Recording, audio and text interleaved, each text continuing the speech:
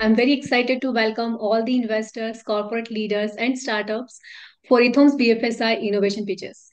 I'm Madhu Gupta, Managing Partner at EthAum Venture Partners. We are a deep tech revenue scaler based in Singapore with over 100 B2B global startups in the portfolio. Banking, financial services, and insurance sectors have transformed quite a lot in the last 10 years. The last decade has significantly improved the quality of life for billions of people in developing nations due to transformative innovations such as UPI, digital banking, peer to peer lending, and many more. Now, technologies such as AI, ML, blockchain, quantum computing are poised to move mountains and bring unbackable, unthinkable transformations to the industry. These transformative innovations and crazy founders inspire us to showcase their solutions to industry leaders and investors.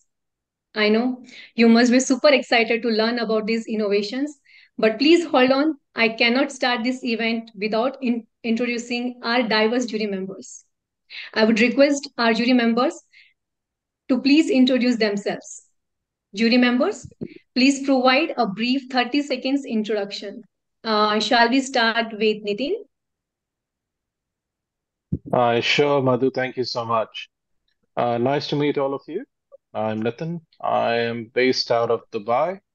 I have around two decades of experience in digital banking products across the globe, and I've led various industries and companies to develop their innovative digital solutions. So, looking forward to the presentation by all the founders, and uh, let's move forward. Good luck to everyone. Great. Great. Thank you. Thank you, Nitin. Um, can we have George? Hello, uh, good morning from Athens, Greece. Uh, my name is George Panou, and I have uh, over two decades of experience in IT and business. I specialize in leading digital innovation and transformation across banking and financial sectors. Currently, I'm uh, head of uh, Eurobank Innovation Center, and uh, I'm also lecturing uh, in uh, universities and colleges on uh, digital transformation and transformation in general and emerging technologies. Um, I have hands-on experience in critical application uh, that enables me to mentor startups and guide the future of digital finance. Thank you and good luck to everyone. Thank you, George. Uh, Saurabh? Everyone, let Yeah, me. Sorry. Sorry, Saurabh? I thought you said Sarah. Apologies. Hi, this is Saurabh from Singapore. I have around two years, 20 years of experience in banking and financial industry, especially fo- focusing on digital technology space. Uh, looking forward to hearing the pitches from all of us here. Great, great. Uh, Viren? Hi, good morning and good afternoon. My Viren Mantri. Uh, I started a technology, cyber, and risk advisory firm. So I'm the newest startup, I would say, as one of your jurors. Uh, prior to this, uh, I've spent a long time with Standard Chartered Bank, almost 17 years. Uh, the, the previous, the last four uh, heading uh, as CISO for SC Ventures, their incubation arm. Uh, in a span of four years, we moved from incubating two ventures to 23 ventures of all kinds, starting from supply chain, crypto, and number of uh, digital banks as well. So looking forward to hearing your pitches and uh, good luck. Thank you. Amazing. Uh, can we have Sarah? Uh, good morning and good afternoon. This is um, Sarah Dees. Um, I'm a fintech, uh, multiple fintech um, uh, startup um, leader. Um, before that, I was in investment banking with Barclays, um, Goldman Sachs, and uh, BNP Paribas. Um, looking forward to hear all the ideas today. I also work for a company called Carbon 13, uh, where I mentor um, startups um, that are focused on uh, climate tech. So a bit of experience on on on helping teams get from from zero to hopefully hero, and looking forward very much today to to hear what our uh, startups have to say. Fantastic, Sarah. Uh, Thomas? Hi, everyone. It's a real pleasure to be with you. Uh, I'm based in Singapore as a general manager at a Series C fintech startup called Aspire. Um, I was previously a consultant to the banking industry. In addition, I have various roles as startup advisor and investor. Great, great, great, Thomas. Uh, Deepak? Hello, everyone. Good afternoon. This is Deepak. I started my career in data science and AI domain 18 years back. In those days, it was known as data science. Now, oh, sorry, data analysis. Now it is data science and then AI, then Gen AI. I've worked across financial domains, started career with HSBC, working right now in banks. But between uh, the the journey, I worked with uh, Thomson Reuters, Refinitiv, and LSEG, which was typically the same company acquired by different different uh, groups over the time. I read a lot of philosophy and psychology, try to combine it with technology to keep at least human intelligence in loop in, in the era of artificial intelligence. Very excited to hear all the ideas. Looking forward to it. Good luck to everyone. Amazing, amazing. Uh, Soumya? Hi, uh, good afternoon for everyone in, in Asia and good good morning to people from uh, Europe and the western part of the world. I'm Sameer Gupta. I run uh, Infinivolve, data and digital consulting firm, helping uh, BFSI clients in Southeast Asia with their CVM transformation. Prior to uh, starting my own venture, I've been two in two decades in banking, Last one, big DBS, where I led data transformation for DBS, both data transformation and AI. And as my uh, fellow juror mentioned, transforming analytics into AI. That's what I've led. Uh, very excited to be here. Uh, really excited to see all the new startups and looking for new partners, whom the product which I can bring to my clients. I'm always in look out, look out for new products. So very excited to be here. Great, great, Sameer. I, I, I hope you really find you know some of the amazing startups today. So yeah, great. Uh, happy to have you here. Uh, Soumya Singh. Hello, good morning and good afternoon. Uh, I'm Soumya. I'm part of Cognizant's uh, business consulting group. Uh, I started my career in the banking industry before I moved on to management consulting and IT strategy side of things. Uh, I'm based out of Singapore for the last uh, 14 plus years, and it's very interesting to be at the cusp of history wherein we get to see how technology and other innovations are driving the industry. Uh, looking forward to the session, and thanks a lot, Pankaj and Madhu, for bringing all of us together. And good luck to all the participants. Always happy to have uh, have you, Soumya. Mahendra.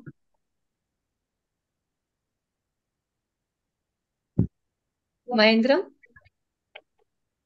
Oh, we don't yeah, have hi, him? sorry. Okay.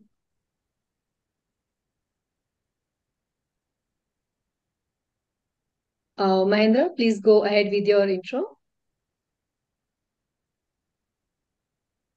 Sorry, I had a problem with my microphone. Hi, I No. hope everyone can hear me here. Uh, very good afternoon and good morning to everyone. This is Mahendra from Abu Dhabi. Uh, I work as the head of fintech partnerships and data analytics at First Abu Dhabi Bank. But prior to this, over the last 25 years, I've been working with several large multinational banks, such as Bank of America, HSBC, Barclays, management consulting firms. And uh, the last, I was heading the corporate banking and innovation practice for Accenture in Southeast Asia. Um, I've worked with several uh, fintechs and I've actually seen how we can take newer solutions to our clients and have been very happy mentoring a number of fintechs over the last three, four years in Asia. So very excited to be participating in this and good luck to all the participants today. Great, great. Uh, amazing. Uh, do we have Daniel? Uh, hi everyone. Uh, my name is Daniel Chaplin. Uh, I'm the CEO of the Wealthy VC Club. Uh, we're an angel group from the Silicon Valley. Um, our sweet spot is in uh, policy rounds uh, in disruptive technologies, uh, mainly life sciences, ag tech, mobility, and uh, the space industries. We have a portfolio of uh, 37 companies, uh, including five unicorns. And we're really looking for a, a companies and uh, are passionate about technologies that advance the world in a way that makes it better um, for everyone, uh, not just to make money. So I'm really happy to be here and uh, see the companies. Great, Da- Daniel. Thank you. Uh, I'm not sure, uh, Afroz, Zainab, uh, are you guys on the call? Have you joined? Okay, no worries. Maybe they'll join later. Uh, thank you. Uh, so thanks a lot uh, uh, for the wonderful introductions and your support in the next hour. Some housekeeping rules before we start with the first presentation today. Please keep yourself muted throughout the event. Raise your digital hand and unmute yourself whenever you want to ask any questions or speak. Please use the chat section for Q&A only. Please don't spam it. All right. So now, now uh, let's start with the first presentation, which is Tokenize. It is a Hong Kong-based startup offering token assessment report to help issuers and purchasers to complete real-world asset tokenization due diligence. And here we go. Welcome, investors and innovators. We are Tokenize and we're dedicated to forging a responsible path for the future of real-world asset tokenization. Now, it is no secret that there are many issues with today's real-world asset tokenization projects. However, there are four in particular that we've identified to be holding this industry back from a flourishing market. Firstly, there is no clear connection between the token and the real world asset. The token itself holds no legal, valid, or binding enforceable rights, interest, or ownership title. Secondly, the tokens do not comply with law enforcement. Third, there's no proper documentation, and finally, sustainability concerns. While some solutions do exist, they often fall short. For example, local legislations do impose laws to make up for that missing connection between the token and the real world asset. However, it stunts the accessibility potential of using blockchain technology. Similarly, private and permission blockchains also stunts the full potential benefits of using blockchain technology by being centralized. Now, this is where Tokenize comes in. Our Tokenization Assessment Report, otherwise known as our TAR, completes a technical audit for code security, legal and regulatory compliance assessments to ensure legal validity and enforceability, a 3339 token standard assessment to ensure that the tokens can both be frozen and then recovered, and finally, sustainability evaluations to promote carbon neutrality aspirations.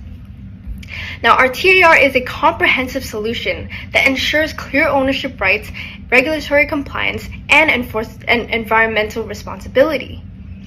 Now, the real world asset tokenization market is currently exploding. It's projected to reach a staggering 30.1 trillion US dollars by the year of 2034. This presents a massive opportunity for us because we do not actually believe that Tokenize has a real market competitor. While CertiK can be perceived to be a competitor because they focus on smart contract audits, Tokenize occupies a unique niche by not only considering the tech aspect, but also the legal and regulatory components. This unique positioning allows Tokenize to expect similar or even greater deal flows than CertiK. Now, our solution is not just theoretical, but it has actually been put into action with four successful projects completed, including a Hong Kong listed company, game company, and an asset backed securitization project. Now, let's take a look at our revenue streams briefly and our financial projections. So, our financial projections show a consistent revenue growth we are also on track to be positive in 2024 and climb steadily thereafter. We also expect a healthy, healthy margins and controlled operating expenses. We are actually currently in discussions with Messari Capital, which is a Dubai private um, investment firm, for a 500,000 US dollar investment at a 10 million US dollar post money valuation. On top of that, our revenues in the last six months exceed 300,000 US dollars. Here is a roadmap that outlines our commitment to innovation, uh, with plans to leverage AI for even better uh, efficiency and scalability in the future. Now, our team is uniquely positioned to tackle this challenge. I'm currently a JD student, and additionally, we are backed by a powerhouse of highly experienced financial professionals and lawyers in tech, corporate finance, and litigation. Thank you so much for your time. Please join us in shaping a responsible future for tokenization and unlock the full potential of real world asset tokenization. Thank you. Amazing, Megan. So we have Megan from Tokenize to answer your questions. So jury members, please uh, ask your questions. Yeah, hi, this is Mahendra here. Um, thing I wanted to check with is, um, have you identified what sort of use cases or which sort of products you're looking to actually work into this space? Um, is it only in the personal banking or consumer banking space, or is it in the corporate banking space? Wanted to just understand how it is. I mean, I think it's actually useful in all sort of spaces. I think um, tokenization will definitely benefit any of the traditional financial products because it makes it a lot more accessible. It makes it more li liquid, whereas um, traditional Could you give an example where you can apply this? Um, sure. So we actually did bonds with uh, CITD, which is the listed company that we were talking about. And uh, so we issued these tokens for them, and that would be our case study. I think we also submitted a case study um, for that as well. Okay, thanks. Megan, Any hi. other This is, questions? this is Viren. Yeah, Hi. Hi. That was a good presentation. Uh, Thank you. Some of the slides I couldn't capture quickly. Uh, on one of the slides, you rightly pointed out the limitations of uh, private blockchains. Mm. Now, the tokenization project that you completed or are in the process with CITD, could you disclose which blockchains are you using? That is number one. Uh, Yeah. Number two is uh, you mentioned about token smart audits and smart contract certifications as well. Do you, as a company, would do both? Do you do yourself, or would you engage a third-party auditors to audit your token due diligence and to audit your smart contracts uh, security? That is number two. Okay, uh, let me answer the second question first. So we are actually the third party that is doing these audits for the tech portion. We actually have uh, CertiK as one of we have hired CertiK, so we often pay them to do the tech audit specifically. Um, in terms of the law opinions and the regulatory opinions and smart contracts, that is issued by the uh, law firm that we will work with, and that is how. So we will look over um, all of the documentation that is given to us, and we are the third party that audits it. Uh, not audit, assesses it actually, because we're not Okay. doing financial audits, but yes. And then for your first question, which uh, blockchain we're using, we actually we've moved to, um, I I think it's Tone Tone View. Sorry. I'm right now, but yes, we Okay, we decided to. Sorry, yeah. We could cover that later. I mean, you could all see the Yeah. Yeah. I'm really right now, but uh, yeah, I do. I I can let you know the two blockchains that we've moved from and we were at before. Yeah. Uh, the only reason for asking that question is if you have already selected one or two or what a number of blockchains, uh, I would want to know later why were why were they selected and that what's your longer term game plan. With, Okay, so uh, sorry to build on what you just said. Megan, Uh, what's great about what? Oh, I'm, I'm yes. I'm extremely sorry, but since we have very limited time and you want we and we want to cover everything within the given time, so Mhm. can you please take this question offline so that yeah, we we can start with the uh, next presentation? Uh, maybe you can answer in the chat section, Megan. sure, sure. I can do that. Okay, and Thank jury you. members, if you have more questions, please feel free to put them in the chat section, and Megan would be happy to answer them. okay. All right, so um, we have next startup, which is Velotix. It is a US headquartered AI powered data security platform supporting BFSI leaders in Europe and Asia. And here we go.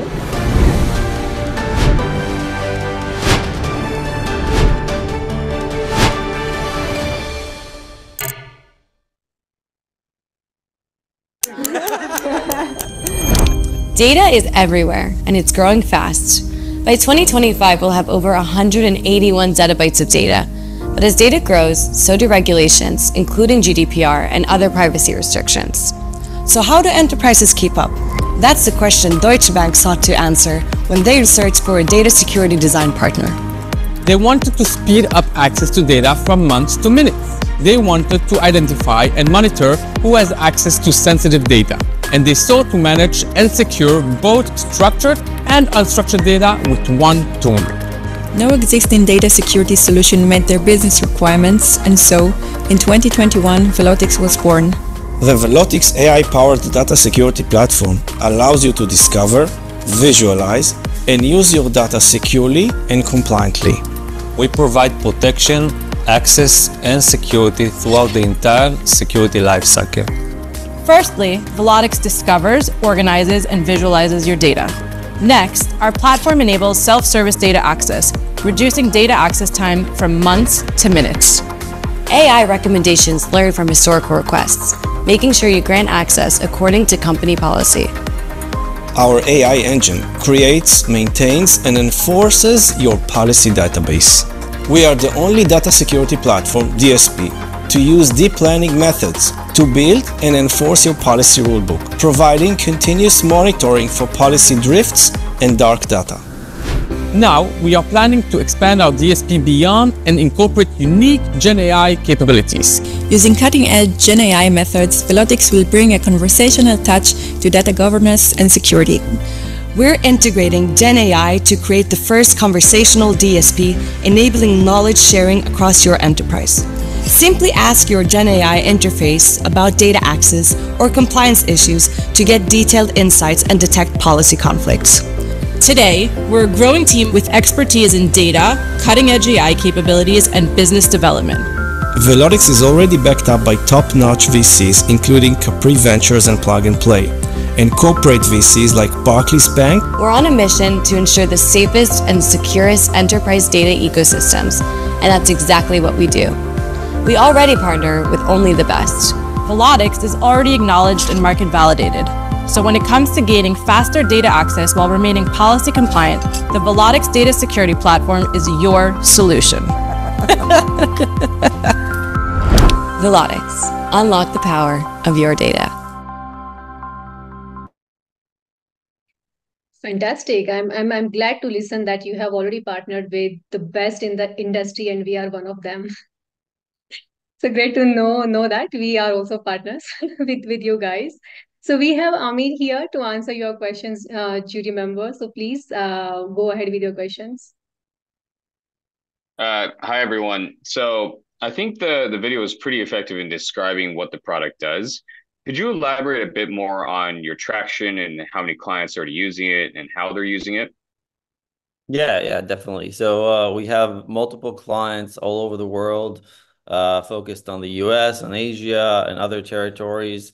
Uh, over, uh, I can't say exactly how many customers, but uh, over 10 customers that are using the, the solutions. Obviously, all the customers are uh, big enterprises, uh, mostly banks, financial institutions, very data-driven organizations, let's say that.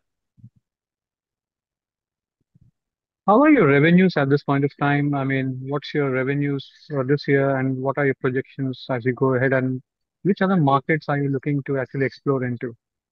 Yeah, great question. So, uh, we're getting closer to the seven digits. Uh, that's our goal, and uh, to cross that um, over the year 2024. That's our goal. Uh, as I mentioned, we're mostly focused on the BFSI market, uh, but we're very open to other data-driven organizations such as utilities, telecom companies, oil and gas, uh, healthcare as well. As of now, our traction, most traction has been on the banking, financial, insurance companies. Sorry, one quick question again on this is in terms of data residency sort of issues or in terms of hosting cases as some jurisdictions are having, What's your view on how are you actually looking to tackle those as you scale up? Yeah, so we have both uh, on-prem and a SaaS offering. So for our more traditional customers, it's on-prem uh, hosting, which means it's under their security without any access to the outside world. So we don't find any issues with that. Obviously, we're working with Deutsche Bank and other large organizations, which are very traditional in nature. Great, great, fantastic. Uh, guys, you may be seeing poll on your screen. Please feel free to uh, respond to that. And uh, starting with our third presentation. Carol. So starting with our third presentation, Ares Applied Technology, a Singapore-based startup offering quantum security solutions to the BFSI leaders. And here Hi. we go. Ares Applied Technology is a deep tech startup focused on addressing one of the most critical challenges facing all organizations today quantum computing's impact on cybersecurity. The problem statement that we are trying to solve is that quantum computers could potentially break the current cryptographic methods, leading to data breaches, financial losses, and irreparable damage to trust for the major BFSI leaders. Ares Applied Technology provides a comprehensive quantum security solution to the financial services leaders designed to protect against these emerging quantum threats. Our proprietary technology includes quantum-resistant algorithms, post-quantum cryptography which are specifically engineered to withstand the computational power of quantum computers. These patented solutions provide future-proof encryption, ensuring that even as quantum technology evolves, the data and digital assets of our BFSI clients remain secure. Our approach is proactive, enabling organizations to upgrade their security infrastructure before quantum threats materialize. Our value proposition is that our encryption methods are backed by the latest patented technologies, including hardware-compatible solutions that are AI-proof, that provide an additional layer of security. By adopting our quantum security solutions, organizations can not only safeguard their critical data, their reputation, but also gain a competitive edge by being an early, early adopter of future-proof technology. Aries has built a quantum encryption solution to this end, LineGuard. And what makes LineGuard unique? Our value proposition lies in our commitment for future-proofing your data security. With LineGuard, you gain quantum-resistant encryption, which ensures your data remains safe from both current and future cyber threats. Cross-compatible platform, which whether you're on a desktop, tablet, mobile device, we are cross-platform compatible and provide seamless, consistent protection across all platforms. LineGuard provides ease of use, and despite its advanced technology, LineGuard is incredibly user-friendly uh, with a few clicks, it allows anyone to encrypt and decrypt their data. LineGuard is also designed to be highly scalable to meet uh, all the needs of both individuals and businesses, offering flexible solutions that are even cloud compatible. And in the future, LineGuard will be enhanced with hardware and quantum-safe Bluetooth capabilities. Our success stories is that we have partnered and are supported by leading partners and agencies including Enterprise Singapore, NUS Enterprise, Cyber SG Center, and Shibuya Startup Support in Japan.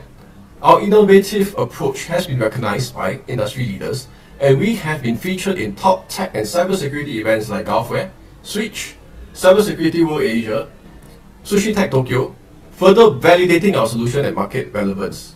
We have also collaborated with PIQL or PICO and the Arctic World Archive a European Union supported company which, which has enabled us to gain more traction, customer insights, and expand our solutions worldwide. We will be embarking on a key POC with the Singapore National Quantum Safe Network. As part of this POC of concept, we are collaborating further to integrate our quantum solution with a key quantum key distribution technology. The team is our greatest asset. Lim Ming Liang, our CTO and co-founder, is a graduate of the National University of Singapore with a degree in applied mathematics he has patented several groundbreaking encryption technologies, including an AI encryption-driven method. Myself, I'm Ken. I'm CEO and co-founder, and I have 15 years of experience in banking product strategy and digital banking platforms. With Bernard Su, our COO and co-founder, he has 20 years of experience in wealth management and fintech, including leadership roles at Stanchart and UOB. Together, our team brings a unique blend of technical expertise and industry knowledge. To date, we have successfully raised 185,000 US dollars in seed funding, which has enabled us to develop our core technology and secure early partnerships. This funding was secured from Enterprise Singapore through its stringent deep tech proof of concept program just in the first two months of our operations. We are now seeking USD 1 million in our next funding round to accelerate product development, expand our market reach, and strengthen our intellectual property portfolio and go-to-market partnerships. Thank you. Thank you, Ken. Um, so jury members, we have Ken here to answer your questions. Hey, Ken, this is Viren again. Hi. Uh, Ken, by saying uh, your LineGuard does post-quantum or quantum-resistant encryption, uh, are you suggesting that you've already tested against the recently released NIST PQCs? Uh, yes, our methodology was one of the NIST uh, uh, or similar to one of the uh, solutions that was submitted at NIST. Okay. And uh, it has been uh, researched and developed over 15 years. Uh, there are many white papers that have uh, and crypto analysis that's been uh, done on the methodology that we are using. And we have uh, managed to patent it uh, in different applications. Uh, we have a symmetric uh, encryption with AI patent in the US, Japan, and Singapore. We have also um, recently uh, been awarded uh, the patent for wave transmission.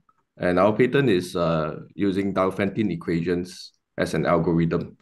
And uh, this uh, particular form of encryption, right, um, uses the theory of undecidability. And okay. it is also AI proof.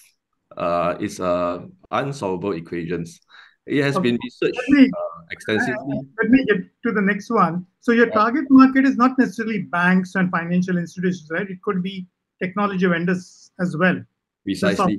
Providers. Okay. Uh, okay. All right. Understood. We'll we'll talk more later. I just wanted Nitin? to Ken, is your yeah, view to have this as a product in itself or a licensing view going forward?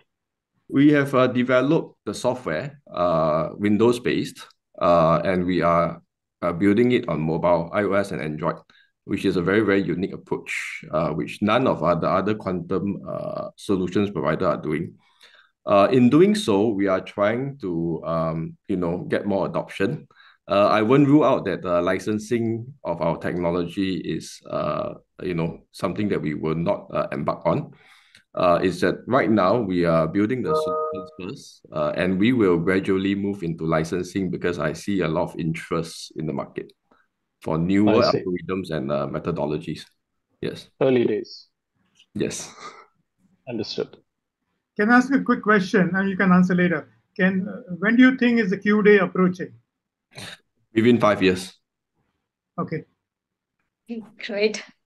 Maybe we can take more questions in the uh, chat section. And moving to the next presentation, which is Olive Gaia. It is an AI-powered platform for decarbonization, transition financing, and ESG risk management. And here we We're go. excited to show you how Olive Gaia is revolutionizing decarbonization, transition financing, and ESG risk management for financial institutions. Olive Gaia is a climate tech startup born in the UAE with a mission to empower businesses to lead the charge in climate action. Since our inception in 2022, we've partnered with some of the UAE's largest government and private entities, earning recognition from global giants for our innovations and impact. The financial sector is sitting on a ticking time bomb of carbon risk. Banks worldwide hold an astounding $4.6 trillion in carbon intensive assets. If the transition to net zero isn't managed effectively, potential losses could skyrocket to $20 trillion. The pressure to decarbonize is relentless, yet the tools available are failing. Today, over 60% of the emissions data that financial institutions use is based on estimations, causing significant inaccuracies. Only 25% of the world's top banks adhere to PCAF standards, leading to inconsistent disclosures. Even worse, the current data collection process takes six to nine months, crippling decision making and stalling climate action. That's why we developed Zero, our game-changing AI-driven SaaS platform designed to solve the climate action challenge. Zero is not just another ESG reporting tool. It's the next generation platform that automates the entire decarbonization journey and seamlessly integrates carbon and ESG risk management into a single unified solution. Zero delivers real-time insights, enabling financial institutions to measure, manage, reduce, and report emissions across all scopes, including the notoriously complex financed emissions. But Zero goes beyond carbon. It covers comprehensive ESG metrics, providing audit-proof and compliance-ready tracking and reporting. Our platform supports financial institutions with AI-driven portfolio optimization, transition financing, decarbonization roadmaps with budgeting, and extensive supply chain and investor engagement making ESG management seamless and actionable. Zero redefines what's possible in carbon and ESG management. Our platform's superior data quality combined with real-time access to global databases ensures the highest level of accuracy, effectively managing carbon exposures. With over 500 sector-specific decarbonization levers and advanced AI algorithms, Zero identifies the most effective actions, optimizes resource allocation, and drives smarter investment decisions. The carbon management market is set to explode, doubling to $21 billion in the next five years. Olive Gaia is poised to capture a significant share, targeting the rapidly growing EMEA and APAC markets with a projected cumulative ARR of $65 million in the next five years. Zero is an industry agnostic, audit ready, and action oriented platform. Unlike other market solutions, Zero goes beyond standard ESG reporting and carbon accounting by leveraging cutting edge innovation to deliver high impact, solution driven tools for transition financing, portfolio optimization, and credible, economically viable net zero strategies, addressing critical gaps in the market today. Our tiered subscription model with additional consulting services has have positioned us as a trusted partner in our clients' net zero journeys, securing a solid pipeline and accelerating the onboarding of clients onto zero. Following a successful $1.2 million seed round, we are now seeking 2.5 million in bridge funding to scale our operations. This investment will extend our market reach, enabling us to deliver substantial growth and a comprehensive ESG suite to a growing client base. Thank you very much. Amazing. So we have Jessica and Vivek to answer your question. Sarah, maybe you can go ahead with your question. Sure, no problem. Um, your client base, obviously, what do they, you know, what's the user journey? How much information do they need to, need to give you? Like, what's the onboarding process?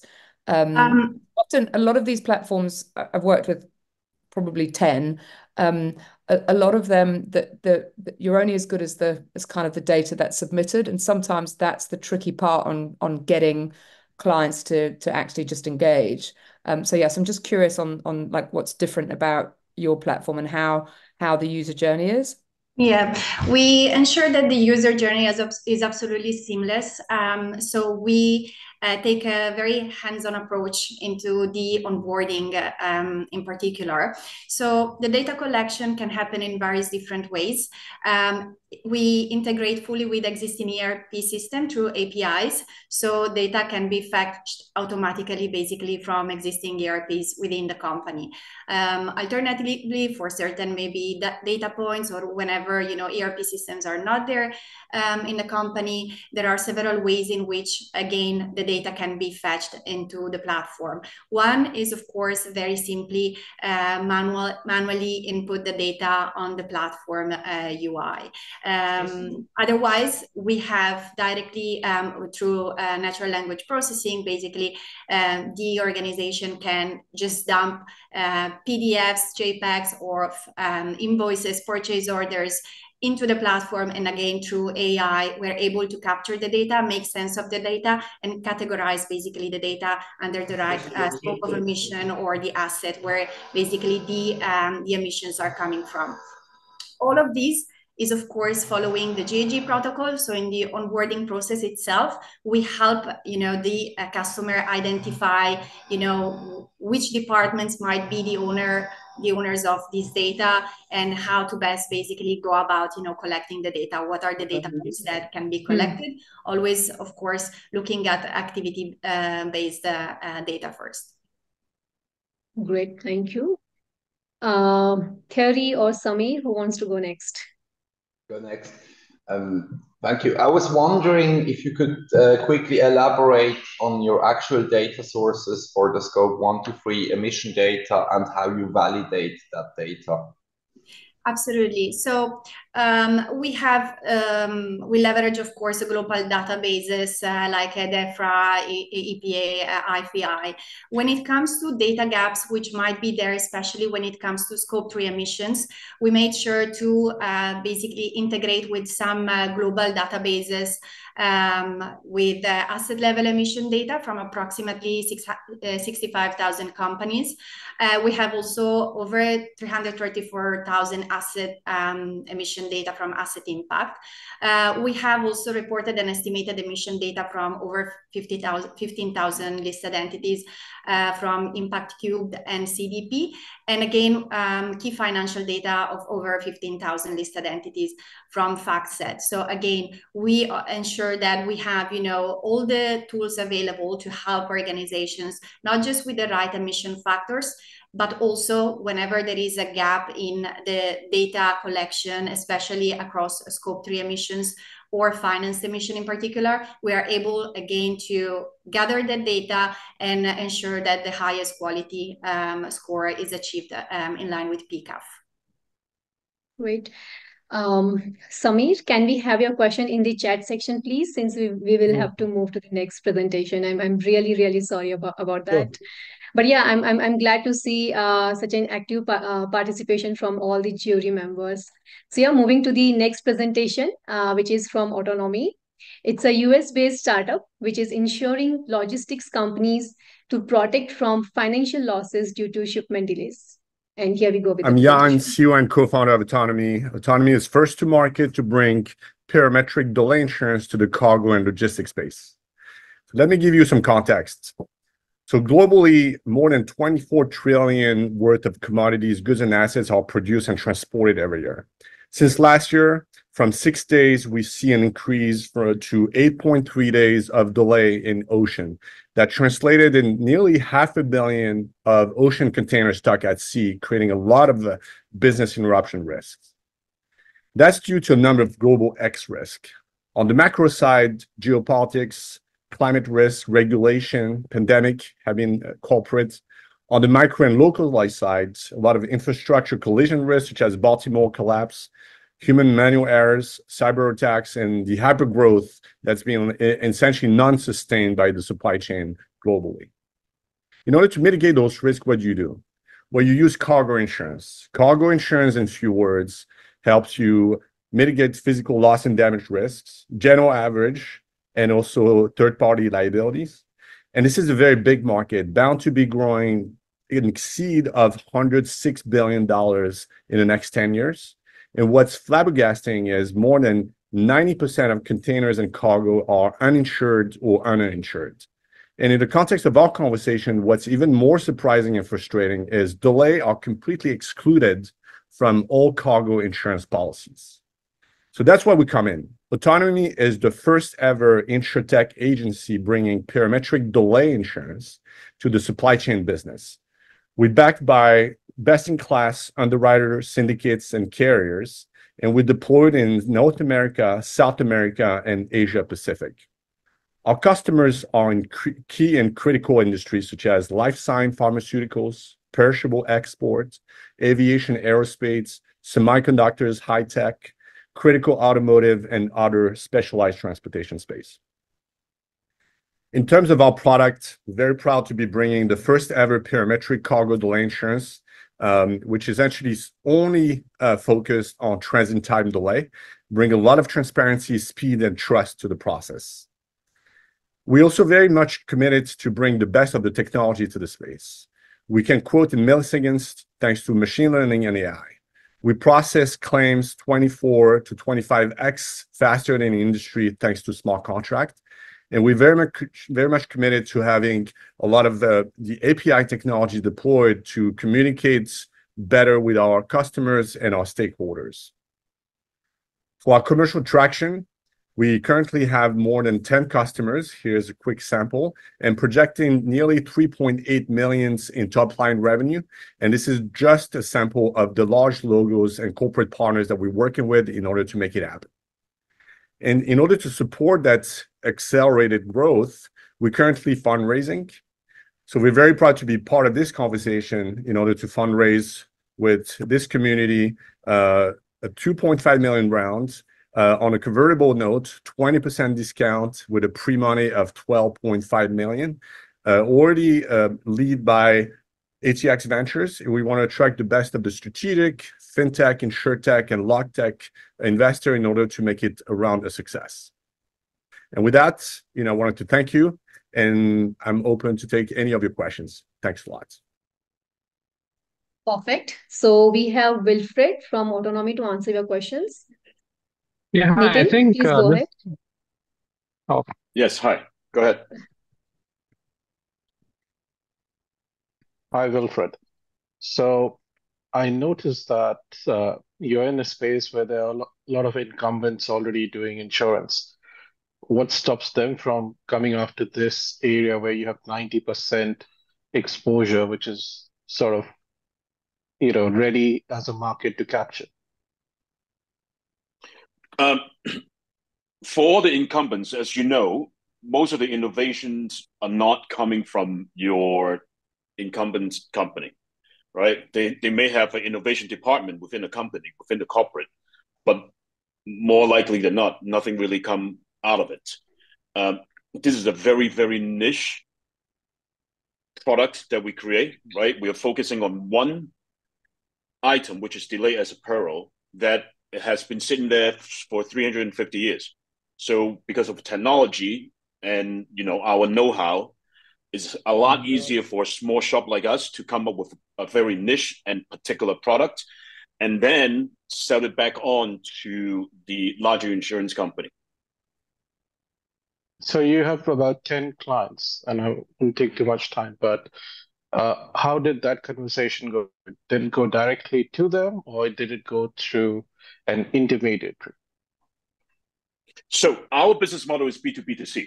Uh, we have two channel sales. So one is your traditional brokerage house, right? Your Marsh. Uh, as you see, you know, they're the number one in marine insurance. Your Marsh, your Aon, and then is your 3PLs, your logistic partners, because they hold that relationship directly with the shipper. And it also they create incentives for them to sell, right? It's, it's, it's an insurance product. So and also because insurance is a very highly regulated uh, business. So it depends on jurisdiction if we are licensed to talk directly to the end user or we have to go through uh, you know a broker of license. So it really depends on the on the location, on the jurisdiction, as a matter of fact. Mm-hmm. Okay, thank you. Can we have one quick question from Mahendra? Yeah, so very quick one is in which, which platforms are you looking to collaborate with, uh, especially given the trade uh, space is pretty uh, uh, very big and massive, and also in terms of what are your which markets are you looking to scale into, or which are uh, also a part of your roadmap? Right. So the first question, uh, when you ask platform, could you elaborate a little bit exactly so, I mean, in what sense, uh, are, are you connected with uh, are you already participating in an embedded model with some platforms where either banks or maybe other fintech or ecosystems where uh, where this can be purchased and it can be applied from a trade transaction perspective? Whether it's been there or it's already part of your roadmap? And the second one is a market right. part. Yep. Okay. So uh, quickly we are actually we are going to be launched under marsh in the insurance platforms called Insurity. So that's one. So that's where the Marsh relationship coming coming from. And then the roadmap, uh, APAC. APAC is where what we're looking at. If you can see, you know, the top nine out of 10 busiest ports in the world sit in APAC, right? So this is a technology coming from the States, but you know, the application is in is in APAC. That's where all the trade routes, manufacturing, exporting goods, and also importing materials, uh, you know, to to to the world trade in this region. So, you know, India, we already live. Uh, a huge market. They do a lot of e-commerce. It's a booming industry. So we also tap into the you know domestic uh, air flight delay on on cargo. Perfect. Uh, maybe we can have more questions in the chat section, and uh, let's move to the next one now. Next, so next startup is AlgoGene. It is it is a Hong Kong-based algo trading platform. And here we go. Hello everyone, my name is Tony, the founder of AlgoGene. AlgoGene is a Hong Kong-based fintech company. We developed a one-stop platform for learning, developing, testing, executing, and investing on trading bots.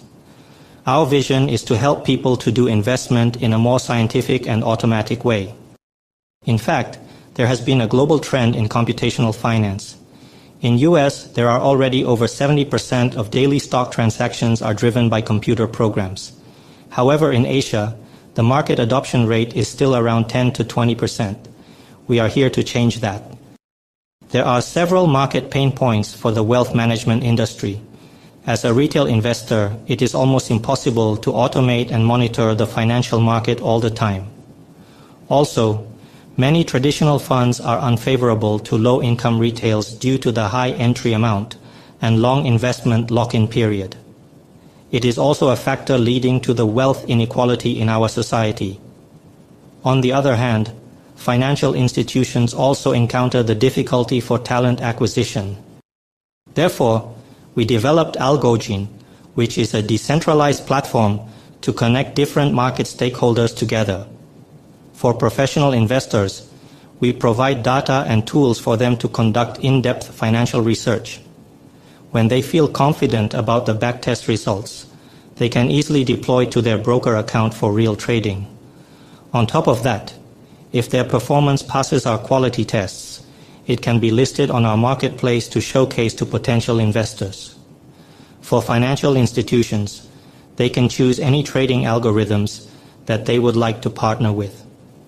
It can save the cost from direct hiring, and all investment performance are proven using blockchain technology. Furthermore, for general retails, they can choose any trading bots that they would like to use. All transactions will automatically happen in their broker account. They can deposit and withdraw capital at any time. They can also start and stop the trading bots anytime so the whole process is fully feasible, automatic, and transparent. The broker account itself is already a fund. In fact, we have various solutions covering the whole investment cycle. We aim to democratize the whole institutional investment process to all market participants. For example, we have a very powerful research lab that contains more than 20 years of ready-to-use datasets, such as market data, news, weather, social media, etc.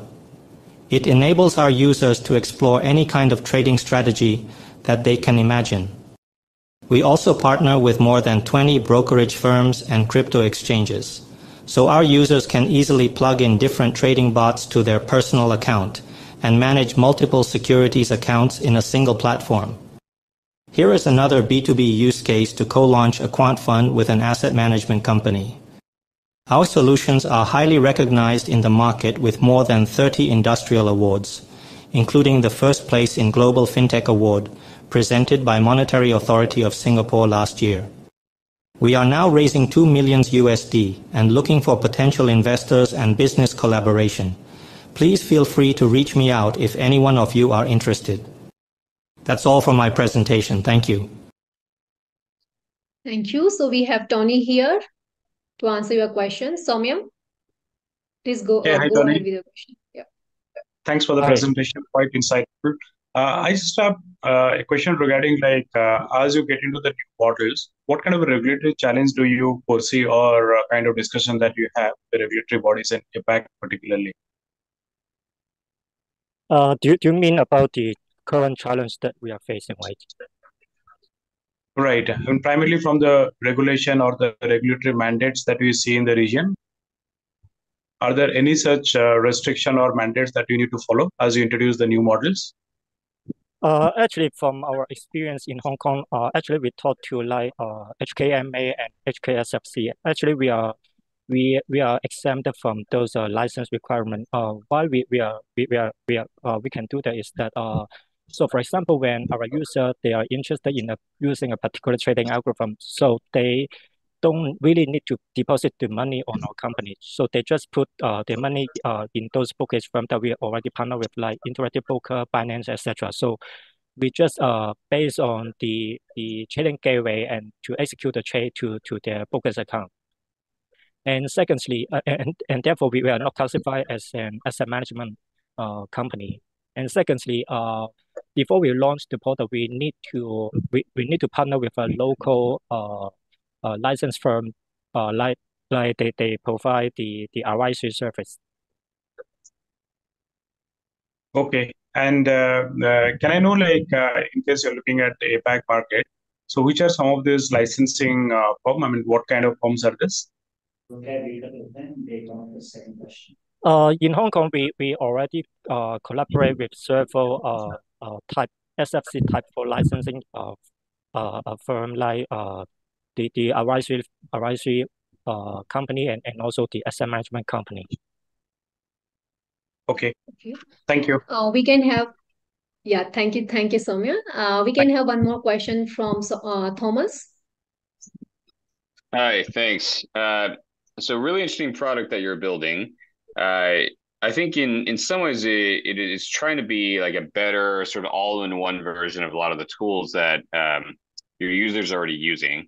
Uh, can you elaborate on the types of users that are going to gravitate towards your platform and how your user growth currently looks? we have several target user. For example, we we actually serve for both B2B and also B2C customers. So for B2C, we have some uh, professional trader who already have their own trading idea and also the coding ability to develop the trading algorithm by themselves. And we also uh, provide some ready-to-use uh, trading algorithm for those uh, general retailers. And for B2B, we we actually partner with some uh, brokerage firm and also crypto exchange. And the second uh, uh, major customer is those uh, asset management company, family office, and also some proprietary trading firm. And right now, for B2B, we have already partnered with more than 30 financial institutions across the world, uh, from Hong Kong, Singapore, uh, South Korea, and and also Dubai. And for B2C part, uh, our community currently have around 5,000 users globally as well.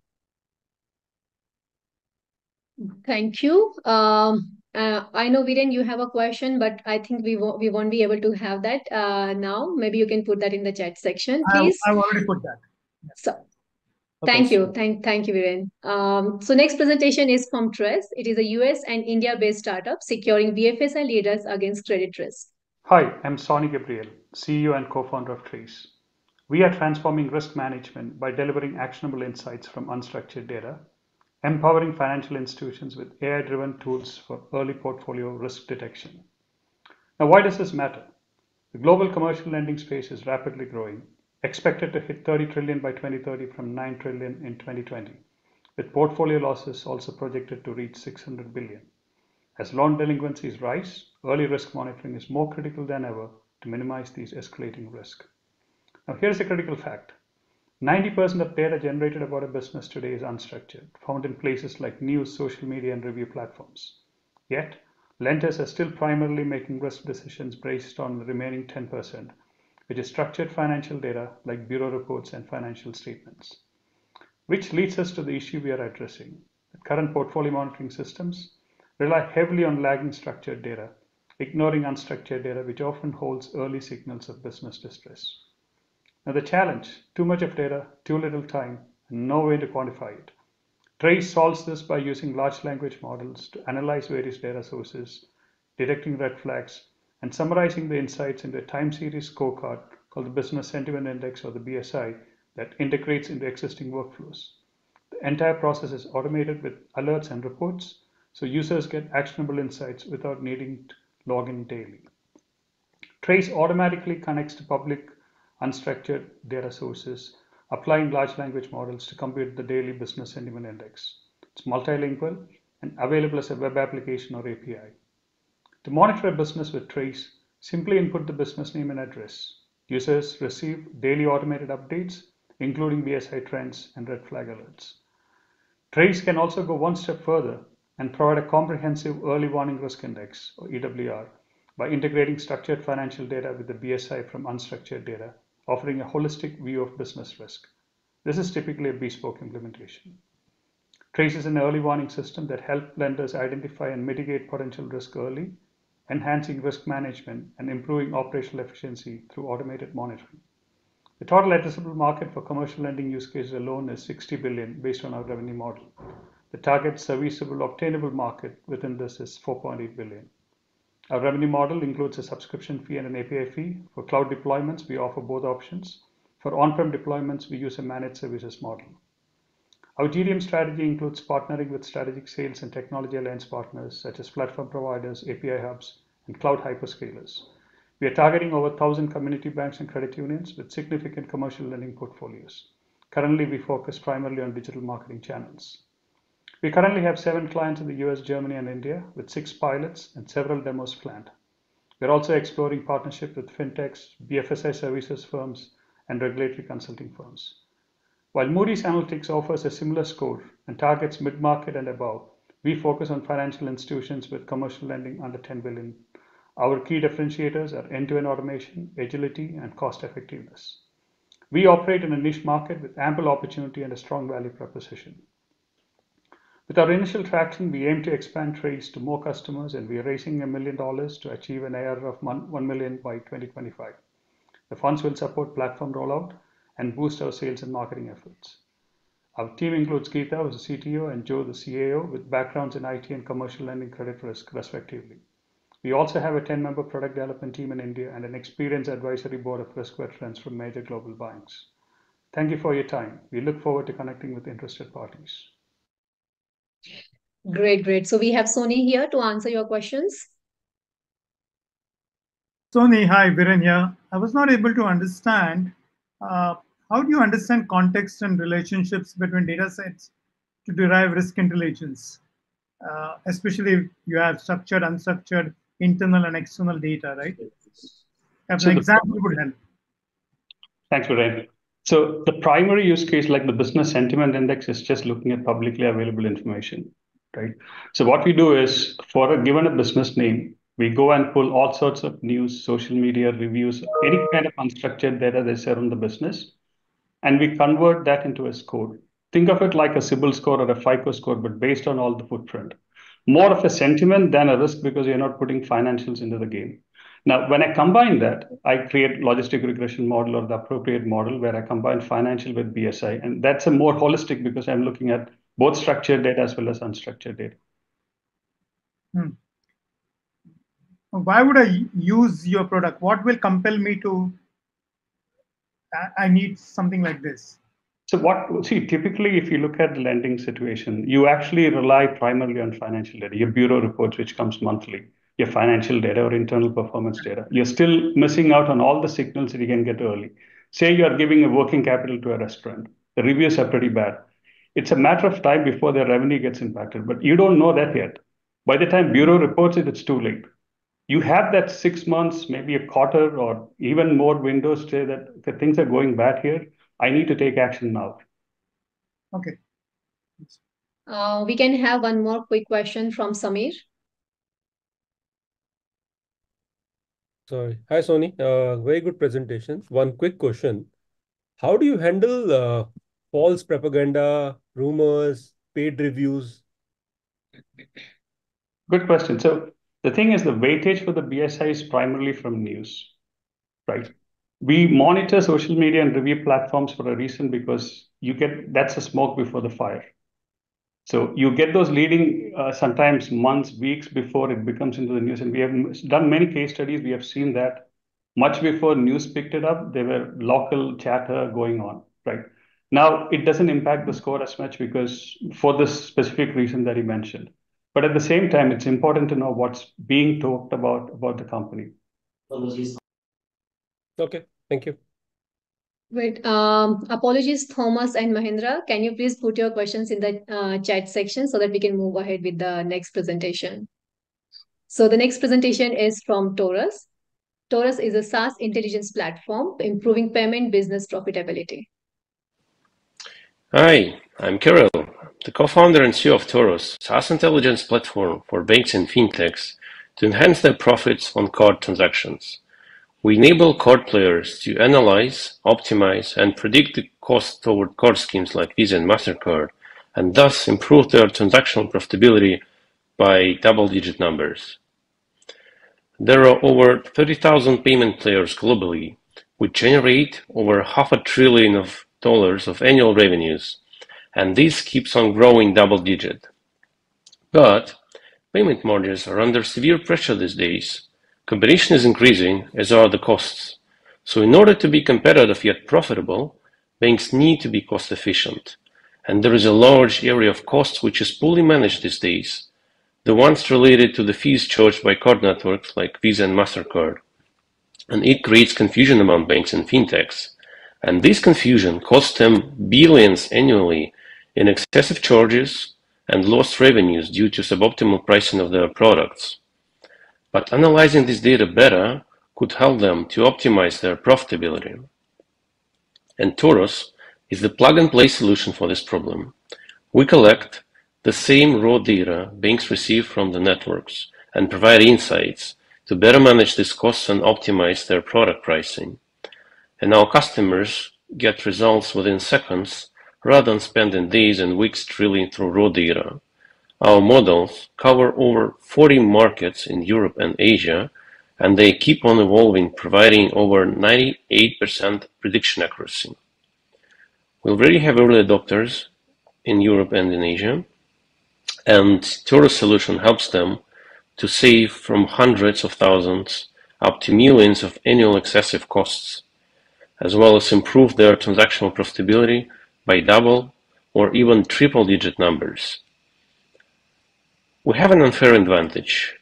This is the decades of industry experience spent in banks, core networks, processors, consultancies, which was productized using cutting-edge technologies. Our sweet spot is 20,000 mid-sized banks and fintechs because they prefer to buy SaaS solutions from the outside rather than build that in-house. Majority of our revenues come from monthly quarterly subscription fees, and the average annual ticket so far is around 100k USD. We now have 10 paying customers generating around a million of annual recurring revenues. We're cash positive, and we've been recently recognized by MasterCard and Sifted, and also received Startup of the Year award by MPE, one of the largest payment shows in Europe.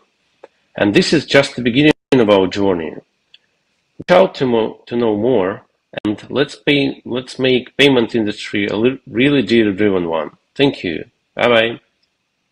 Thank you. So we have Kirill on the call to answer. Mahendra, please go ahead with your Yeah, question.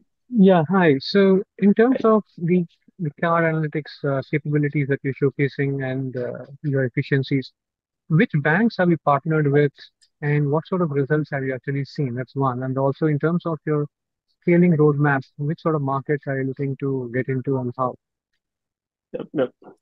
Um, so we focus both banks and non-banking institutions. So the, key thing is they're directly connected to Visa, Mastercard. From the banking side, guess one of the largest is Banca from Italy. So we help them to daily calculate the transactional costs for their portfolio of 400,000 merchants. So we process a few million transactions a day. Um, uh, we are kind of we're concentrated here in, in Europe, so that's why Europe is the, the first market we started with.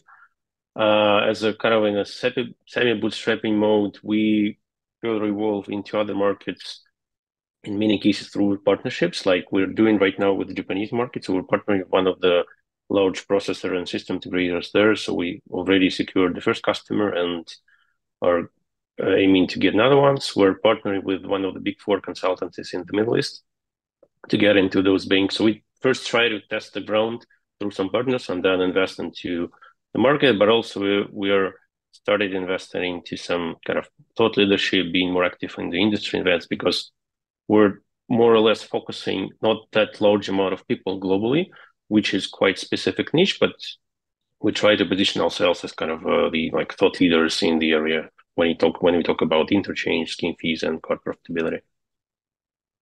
Great. Uh, thank you, Kirill. Any other questions? Okay, then moving to the next presentation, which is from DixFact. It is a US-based startup offering a Gen AI-based product, the Precox, that prevents financial crimes before they occur. And here we go. Hi, everyone. My name is Nishan Tomar, and I'm the founder and CEO at DixFact. Um, if you have seen the movie Minority Report, uh, where they use the precogs uh, to basically stop any murder or other types of crime before they happen, we have taken the similar concept and brought it to real life in the context of financial crime. The problem is that the financial crime keeps uh, getting bigger and bigger, even with all the existing solutions that are in place right now. And this poses a huge uh, financial uh, uh risk for individuals as well as businesses. And it also uh, is a threat for the reputational damage of financial institutions if you look at the trend in the last few years, you will see there is a, a, you know a rise in numbers in both the number of incidents as well as the financial cost associated with these uh, fraudulent uh, activities. And the problem lies in that most, if not all, of these solutions are trying to leverage identity based verification and detection, which is not wrong, but it doesn't cover all of the scenarios.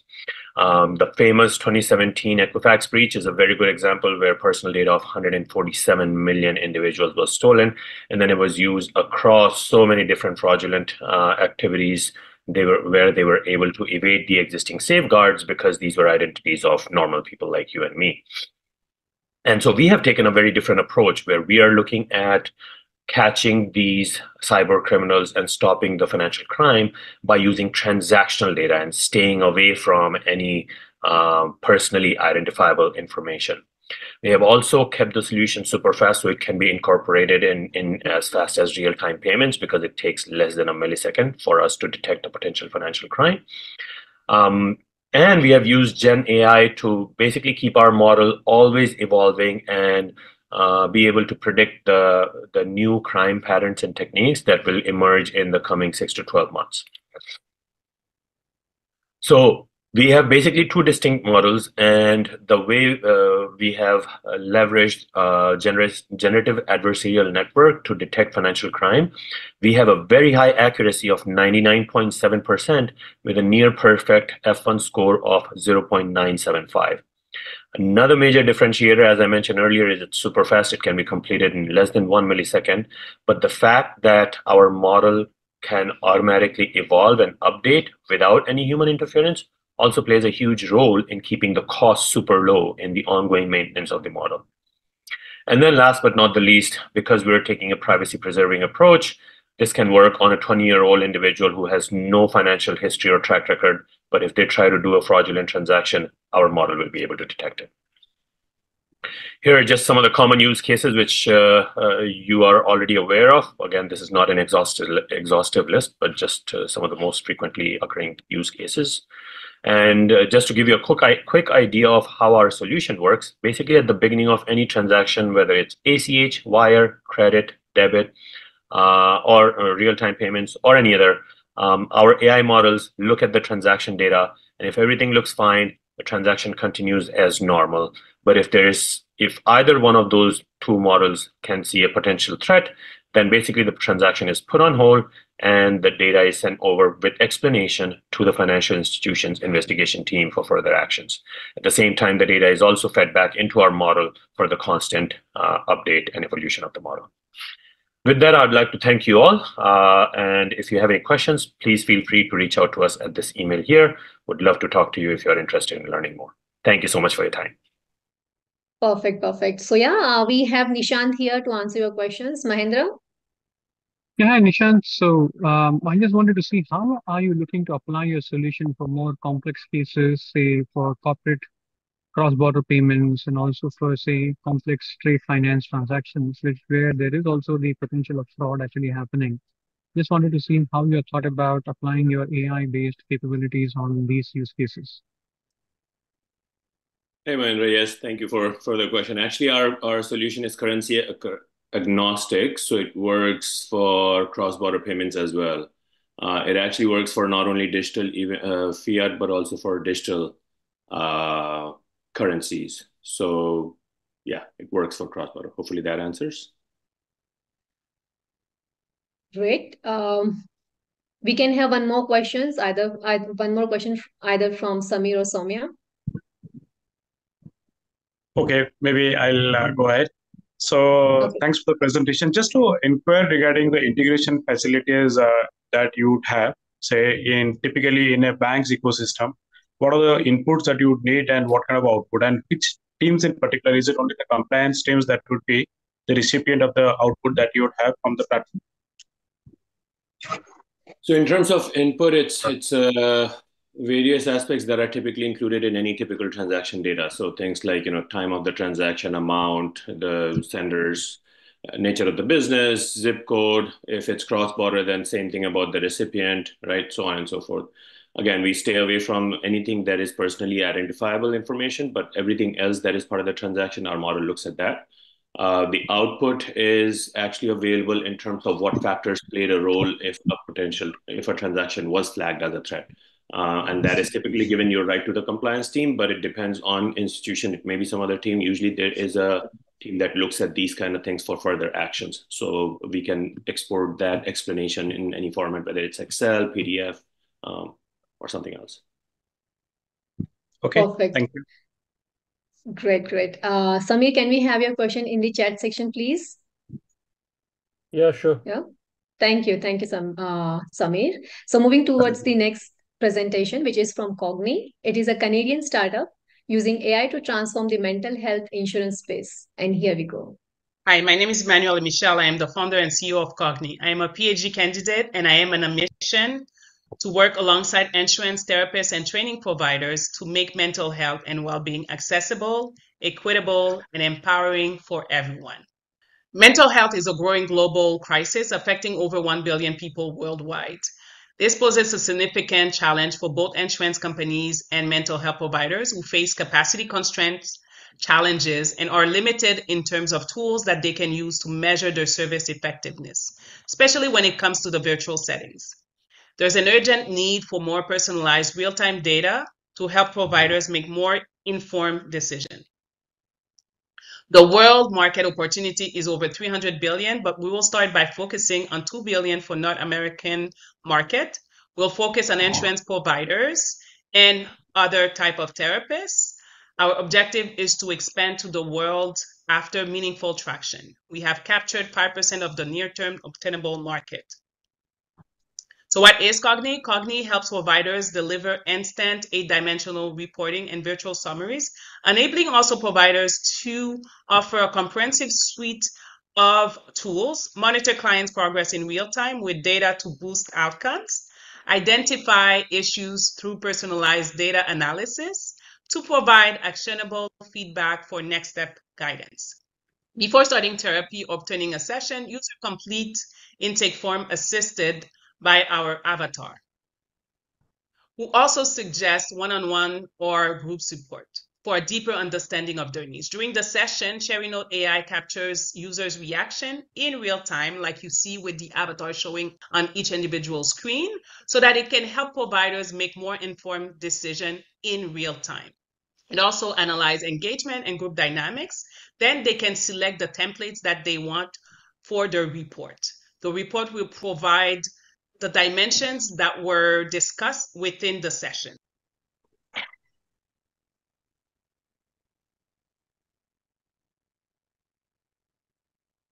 Our key differentiator from existing solution is that we prioritize proactive health measures by focusing on preventive care versus reactive. We are affordable compared to competition, and we provide data-driven insight for decision making and real-time video-based sentiment analysis without storing any facial data or audio. Our targeted clients are insurance providers, uh, therapists, and training facilitators. Our business model is SaaS, B2B, and also to C, with pricing ranging from $10 per users per month, scaling with volume. We already have traction with significant revenue since our data launch and we've signed two contracts at end of 2023. We also have four letters of intent from different groups in the US.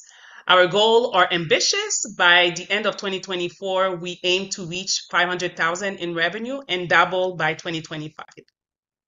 We are currently raising a round of 2 million to secure pilot and expand in new market build our team, and invest in sales and marketing. Our aim is to achieve an annual recurring revenue of 1 million by 2025. So our team are subject matter expert. I bring many years experience in mental health. Our team is composed of AI uh, expert, computer vision, software development, and healthcare professionals who understand the complexity of mental health. We have a team of advisors from medtech to doctors and research analysis. Thank you. Great, fantastic. So we have Emanuela from Cogni to answer your questions. Jury members, any questions? Uh, I have a question uh, about the accuracy of um, the uh, facial expressions. Yes, right now we are at about 93% uh, accuracy. Um, for sure that we are, um, we have not uh, um, used that feature yet with uh, many groups. We have a pilot set up for uh, the 27th of October and uh, 17th of actually the 17th of September and 27th of uh, October to test that exact feature because we have a potential client that is very interested in the training sector and uh, in the US. So that's the feature. We've tested it with in-house with uh, uh, existing uh, data, but uh, we are now going to be testing it with real-time uh, clients for groups of from 12 to 40 people. Right. Hey, Great. Deepak Okay, yes, Uh, Deepak. Yeah, sorry, I'm not able to raise my digital hand, so I relied on the physical one. So one question I have is, typically what happens when we get into the mental health domain and let's say we are providing any advisory based on automated uh, AI tool, there might be some legal repercussions on that. So how are you handling that? Yes. So for that, uh, I've been in the mental health, and you're right. I've been in the mental health for many years. And what we've realized when we went through uh, the compliance is that our tool needs a professional to uh, validate. So the fact that we're not just letting the AI make decision and decide on the patterns, uh, we have professionals before you can download a report the professional has to give their okay, then the report can be downloaded, or else you cannot download the report. You um also we don't use uh, we started by using more machine learning and we don't use unstructured data so like the cluster for instance because we want to make sure that it's directed we teach the ai in which direction we want to go so that when we have enough data we are able to now allow it to say okay from the data that we receive those are the the patterns and the trends that I've noticed so that it can make it can go faster after. Thank you. Thank you. So uh, moving to our last startup, uh, last presentation for today, which is BX Land. It is a Lithuania-based crypto license exchange. And here we go. Hi, I'm Kevin. Hi everyone, I'm Safir. We are a new generation cryptocurrency bank. We make it easy for our customers to buy cryptocurrency with euro and provide them with a credit card to spend and finally withdraw money at an ATM using our credit card. Many crypto exchanges offer cryptocurrency trading, but are not really completely legal and safe to offer trading cryptocurrency. BXLand solution allow to legally trade cryptocurrency through bank deposit without to, the need to convert USDT back to fiat currency via P2P. As an exchange holding a cryptocurrency license in Lithuania, we allow customers to use the euros SEPA's fast transfer to provide customers with real-time deposit and withdrawal without go through P2P. So in a sense, we truly allow customers to enter the cryptocurrency market safely and legally. So we are currently in final stages of our testing phase, and I would like to give you an overview of how our system works. So let me walk you through a journey, a user experience when they come to BXLand. So when a user registers on our platform, their wallet is immediately created and protected by Crypto APIs, one of the most trusted and secure blockchain infrastructure providers. This partnership ensures that all wallets, transactions, deposits, and withdrawals are safeguarded with industry-leading security protocols. With Crypto APIs managing the backend, users can be confident that their assets are well protected from the moment they sign up. Once user has set up their account and is ready to place their first order, our platform ensures that they get the best prices and access to deep liquidity thanks to our partnership with Bitstamp. This means that every trade is fulfilled with Bitstamp's fast liquidity pool, ensuring competitive prices and fast execution, making our platform ideal for both beginners and seasonal traders. Beyond trading, BXLand offers our very own BXLand token as well, which is deployed on Ethereum blockchain. This token plays a central role in our ecosystem. We are excited to announce that a portion of these tokens will be distributed in an initial airdrop campaign. In short, we have built a journey that is secure, efficient, and rewarding, backed by top-tier partners like Crypto APIs and Bitstamp. Our goal is to create seamless experience for from registration to everything, while also offering unique value through our BXLand token. Market size of the projected crypto trading volume in Europe for 2024 is 4.9 trillion, expect to grow 50% to 7.35 trillion by 2025. BXLAN focus to serving European users with competitive offering and aims to capture 0.05% serviceable obtainable market share in 1.5 billion by 2025. Our business model is B2C. This revenue model charge 0.09% commission per trade, crypto withdrawal fee $4, US dollar, ATM cash withdrawal 1%, and crypto borrow 2% APY.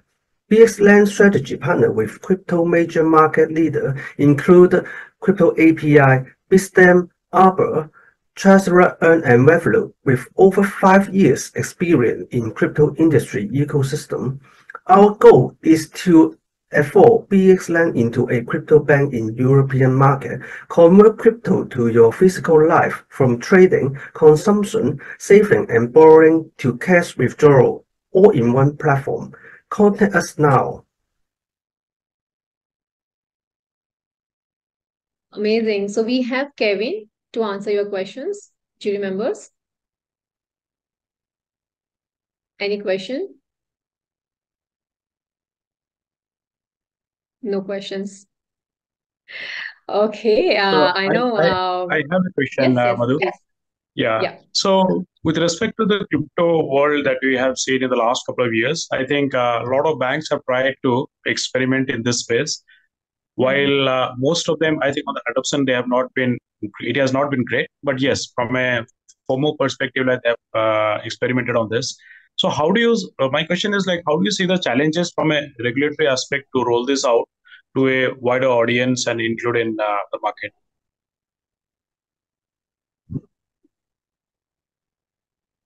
Kevin? Can you hear me? Kevin, are you? Yeah. Yeah, yeah, Yes, I'm, Kevin. I'm here. Yeah, your question is asking the bank will be involved to crypto industry. How how shall we solve this issue, right? Yes, And and plus to uh, and plus to understand like some of the regulatory challenges that you would see uh, in the region.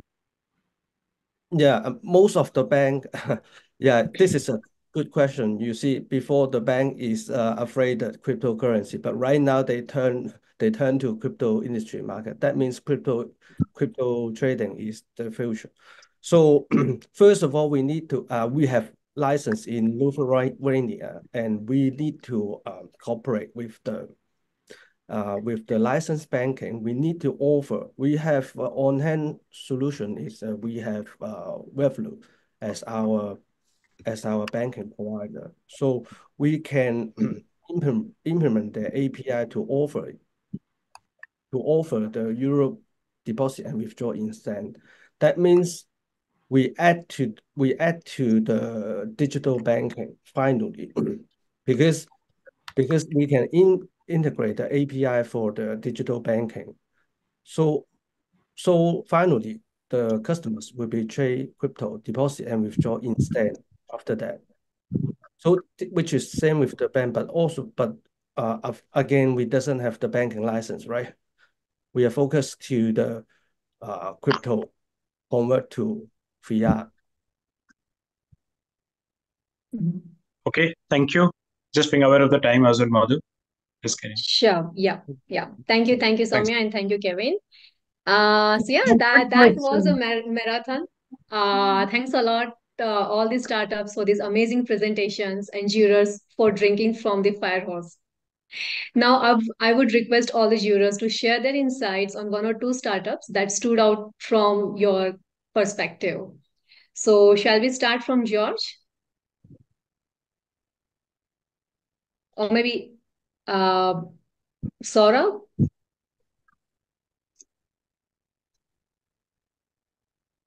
Me or? Sorry, sorry, sorry. I never.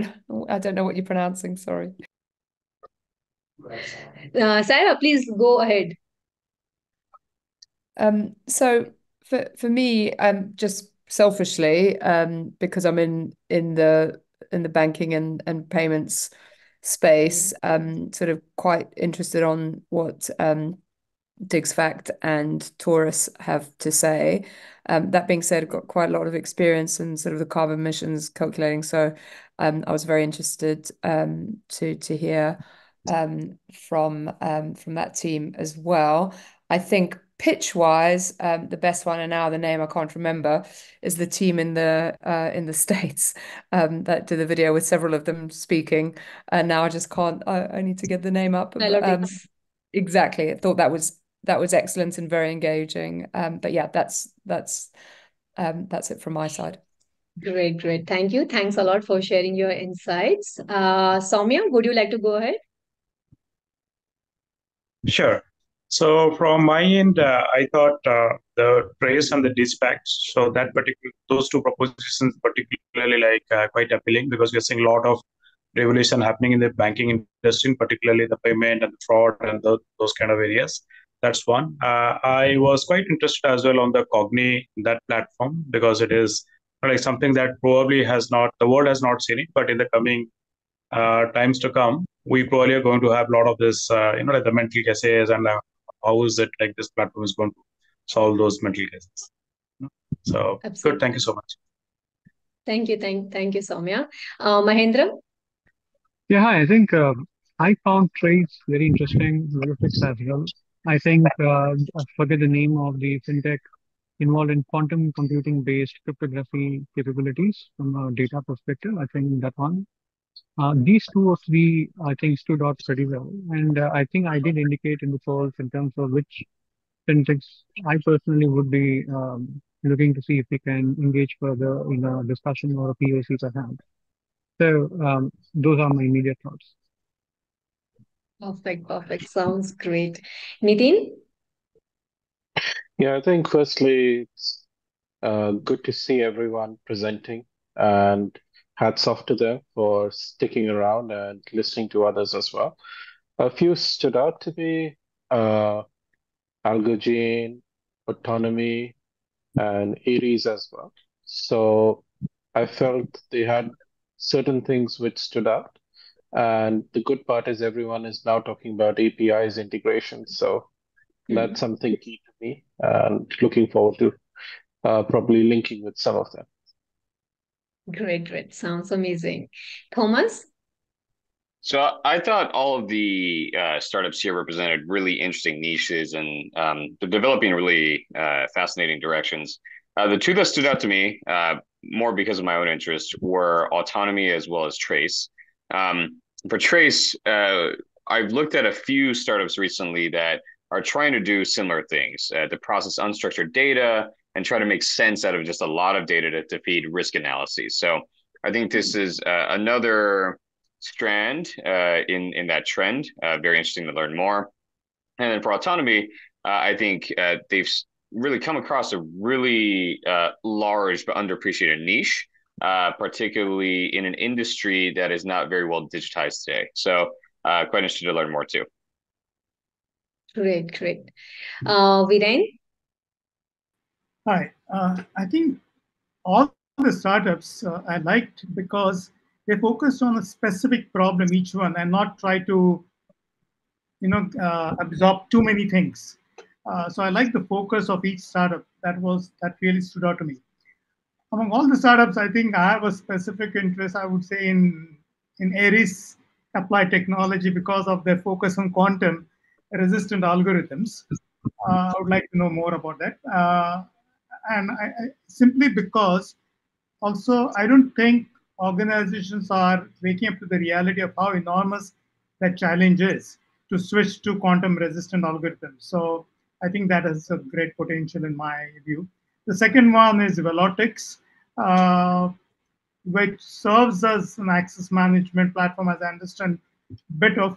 But I think there is a great need for that platform as well from a data security standpoint because of the amount of data we today play with, whether it is uh, internal, external, including mm-hmm. social networks data. So I think that, and with the use of AI, uh, I think a product like VeloTix would stand out. Those two things. And there are there is a great potential for Tokenize as well, in my view.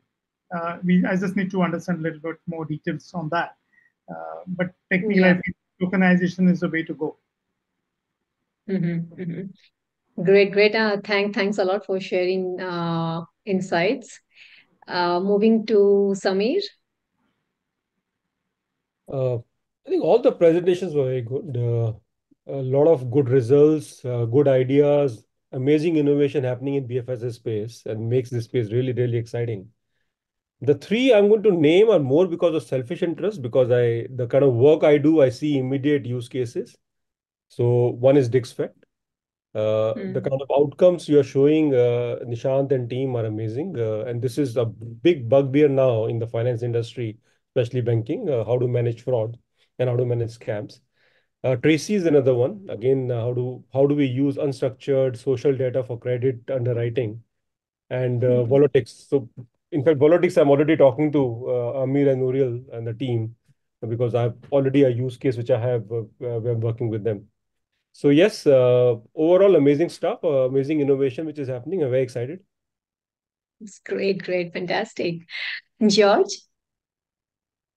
Uh, yes, all of uh, these uh, startups or companies, uh, uh, they have uh, big potential, and but because I'm focused on the financial industry, I would say, of course, Velotix. Uh, it's very interesting also Olive Gaia, because ESG, I think, is a rising sector, especially uh, in Europe.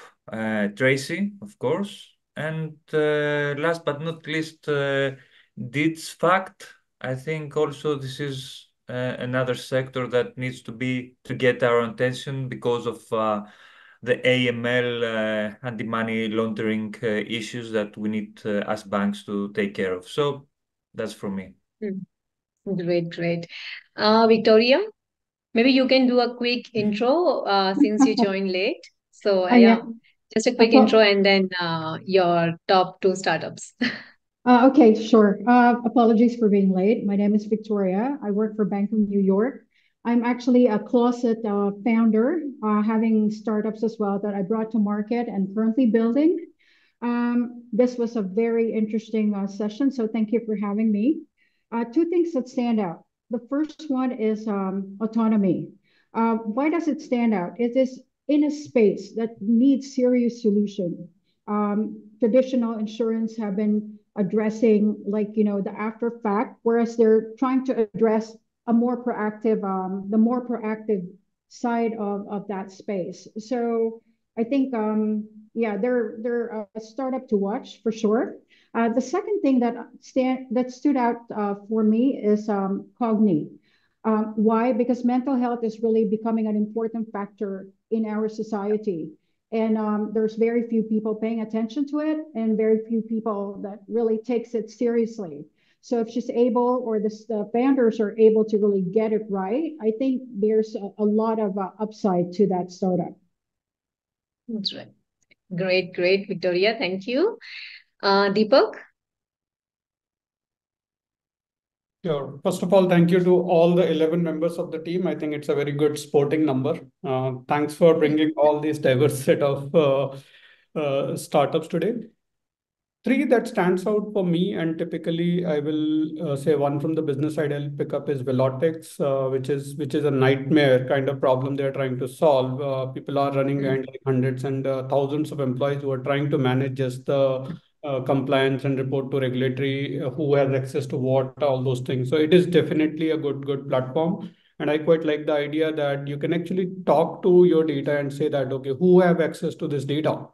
Or since when these guys have access to data, right? So that, that is pretty good. Two others more on the social side is uh, uh, one which is capturing the ESG platform, which is Olive Gaia. I think this field is picking up. Right now, what is happening, we are not seeing a lot of action because hardly there is availability of data. But as data pick up uh, and, and uh, which is reliable also, the action we will see very soon. Third one would be Cogni. Cogni, again, as I think uh, we, we all of us mentioned that mental health is a uh, thing. But what important thing is there is a still stigma associated in the society to talk about mental health. And people are still, even though they know they are not well, but they don't go to doctor for that thing. So I think this online platform will take away that kind of fear and stigma and pro probably they can manage their mental health better. Thank you. Yep. Definitely. Yeah. Um, next is Daniel.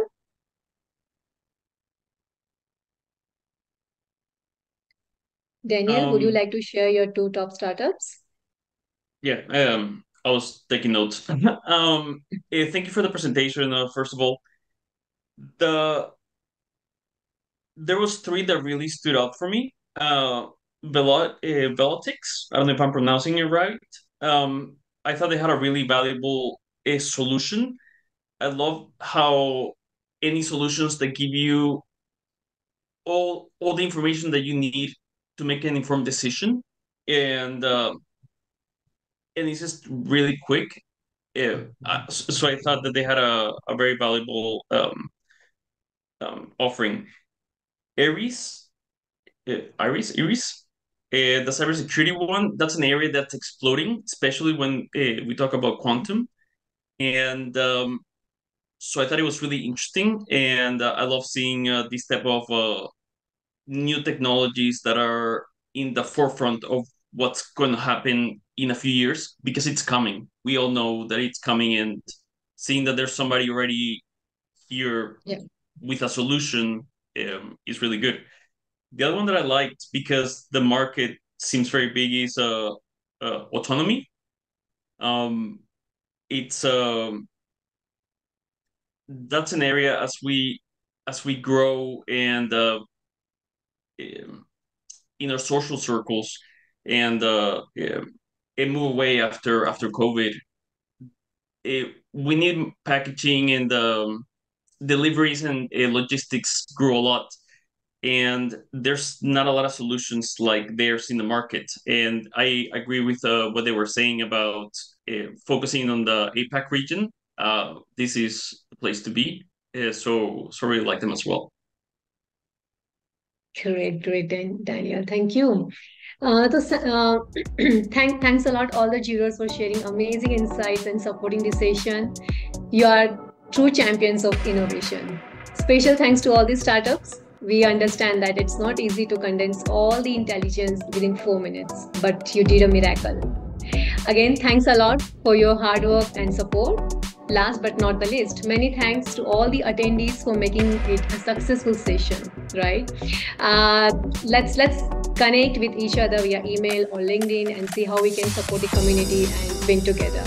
All right. Thank you. Uh, thanks everyone, and see you next time. Thank you. All Bye right. bye. All right. Cheers. Thank you, everybody. Thank, you very much. Thank you for organizing Thank and you. hosting. Thank you so much. Thank you. Thank you. Bye.